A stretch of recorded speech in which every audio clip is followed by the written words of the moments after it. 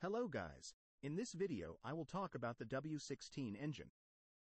To support our channel and see more content similar to this one, you can subscribe and like the video before continuing. Don't forget to turn on notifications. Let's move on. The topic of this day will be the 8-liter, 16-cylinder W16 engine produced by the Volkswagen Group used in Bugatti, which produces over 1,500 horsepower of 8 liters, and the technical characteristics of how the engine works what they fit into this huge engine in that vehicle. The Volkswagen Group has been producing this W16 engine for the Bugatti brand since 2005. As you all know, Bugatti is a brand that produces Veyron and Chiron vehicles. And this W16 engine was used in Veyron and Chiron vehicles. It's a mind-boggling engine when you look at it. An incredibly large engine with a volume of 8 liters. It has four camshafts and four turbos. The reason why it is called W16 is that it is actually an engine created by combining two V8 engines meeting at a 90 degree angle and turning a single crankshaft. In the version used in the Bugatti Chiron Supersport 300 Plus model, it produces 1578 horsepower at 7,000 revolutions per minute. That's an incredible number. It sounds crazy when you think about it like that, and as far as I'm concerned, it's a really crazy engine. Let's dive into the technical depths of this engine. When you think of a 90 degree V8 engine, American muscle vehicles always come to mind. I'm talking about those muscular, powerful, big, bulky American engines used in the old Mustangs and Challengers. When you look at those engines, there are four cylinders on one side, four cylinders on the other. You might also think that they come together at 90 degrees, turn a single crankshaft and transfer power to the wheels in this way. When we look at W16, it's actually the same logic. There are two sides that converge at 90 degrees. The only difference is that they used 8 plus 8 cylinders instead of 4 plus 4. And of course, I think you've never heard of such a thing as a sequential 8 in your life.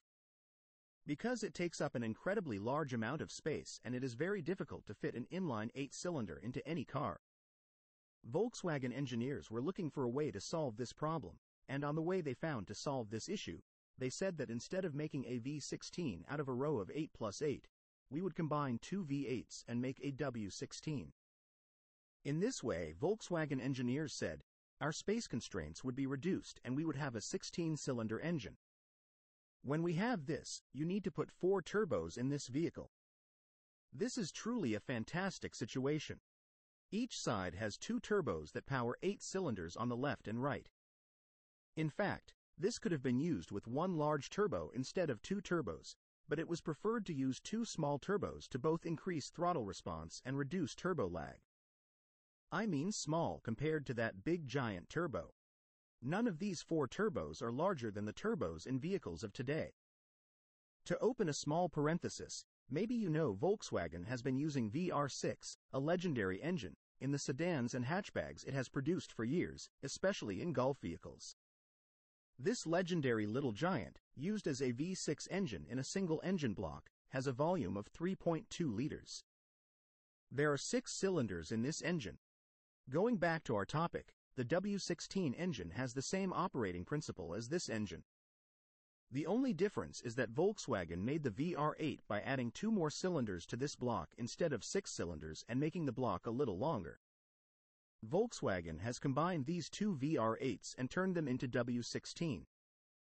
Therefore, when you consider VR6 and W16 separately, you will see that they actually work on the same principle. There is a fresh air inlet from one side and an exhaust outlet from one side. The exhaust gas coming out of this single side feeds two turbos. These two turbos also provide air to half of the engine. When you multiply these numbers by 2 with simple mathematics, we get the W16 engine. When you look at the advantages, of course, the biggest advantage is more power and a more balanced engine. When it has 16 cylinders, the engine works very balancedly. It can also produce very high amounts of power. Another advantage is that it takes up much less space than an inline 16-cylinder engine.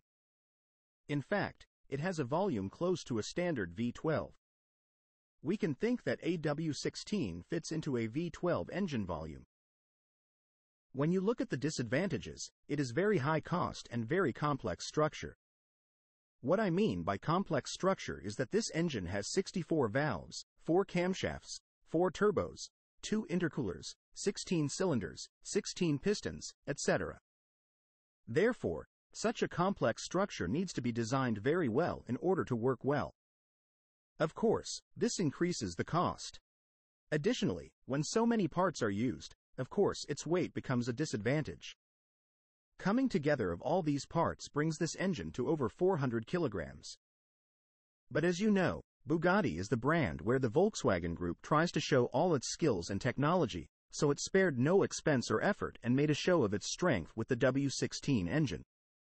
By producing this monster at high cost and with advanced technology, Volkswagen has declared to everyone that it can do this. Thanks for watching. What are your thoughts on this subject? You can comment your thoughts below, like the video and subscribe to our channel to support our channel and watch more content like this.